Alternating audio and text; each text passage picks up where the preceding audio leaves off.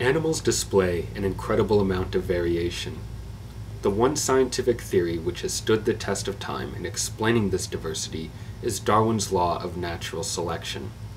At its core, natural selection is a simple process.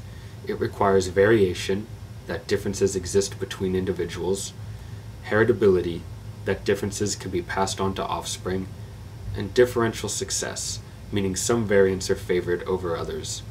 While we understand heritability and differential success very well, there is a lot we still don't understand about variation, particularly when it comes to the evolution of novel structures.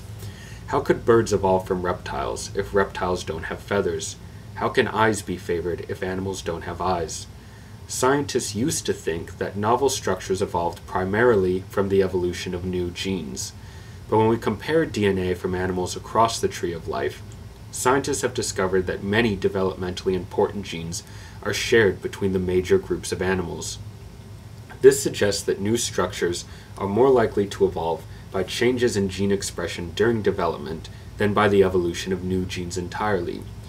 My research looks at one of the oldest branches of animal life, the cnidarians. In particular, I'm studying the moon jellyfish, Aurelia aurita, because it is one of the only cnidarians to have simple eyes. Using genetic and developmental techniques, I look for conserved genes that the jellyfish has to see if they are used in a similar manner as other animals.